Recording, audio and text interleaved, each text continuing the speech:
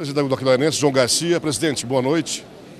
As suas expectativas uh, com relação a, a esse novo campeonato estadual que, que surge com televisão, como é que o senhor avalia tudo isso? Boa noite.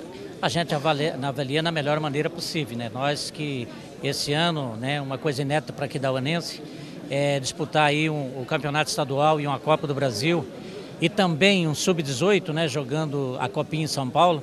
Então aqui da Ana, eu acho que está de parabéns. Agora, é, para tudo isso aí é, é, difícil, é muito difícil porque hoje para você montar e trabalhar com, com, com dois campeonatos nacional e com um é, estadual não é fácil, mas nós estamos tentando montar uma equipe boa, uma equipe que, que venha fazer. A nossa, o nosso objetivo é tentar passar essa primeira fase do, da, da Copa do Brasil em Aquidauana, que será jogado contra o Bahia de Feira de Santana, vai ser jogado lá em Aquidauana mesmo, primeira fase. Aí a segunda depois é contra o São Paulo, e provavelmente seja aqui no Morenão. E contra o campeonato estadual, a expectativa é das maiores possível, porque hoje a responsabilidade do Aquidauana aumentou grande, né? Porque é um vice-campeão, você não pode chegar que nem nós montamos uma equipe daquela o ano passado, não esperando todo esse sucesso, e chegou ao sucesso. Encaixou, deu liga, como diz o futebol.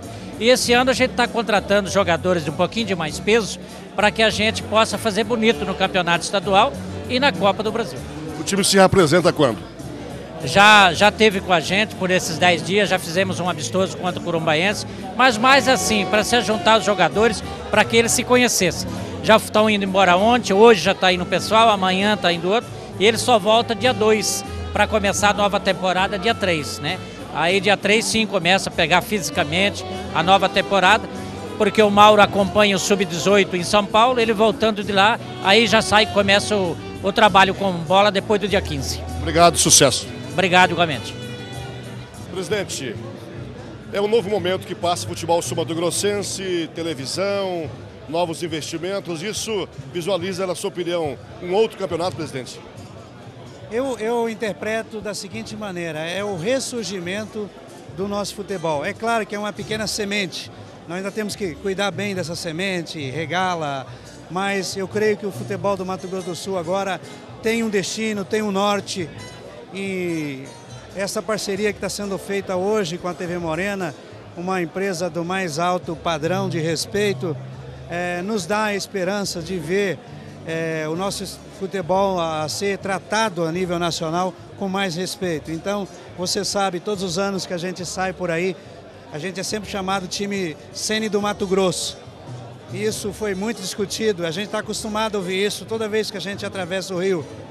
E agora nós temos a chance aí de mostrar um pouco mais, aumentar a visibilidade da nossa competição, trazer novos investimentos, fazer com que os nossos profissionais em todos os setores que lidam direto ou indiretamente com o futebol possam ser valorizados.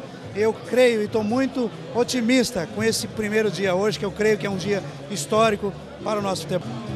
Pedro, você está chegando agora para ser o vice do Casa de Assis, no momento em que o futebol tem uma nova dimensão com televisão, com novos investimentos. Como é que você avalia tudo isso para o futebol? É, eu acho que eu dei sorte, né? Eu acho que eu cheguei no momento certo, um momento que o futebol vai crescer.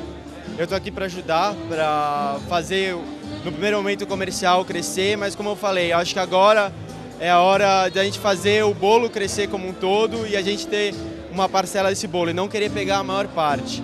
Então eu acho importante esse tipo de parceria, acho importante o trabalho que a federação está fazendo e acho que o futebol agora vai crescer como um todo aqui no estado e eu quero estar tá junto nesse projeto. Sem o Operário Comercial para ser o principal clube de Campo Grande.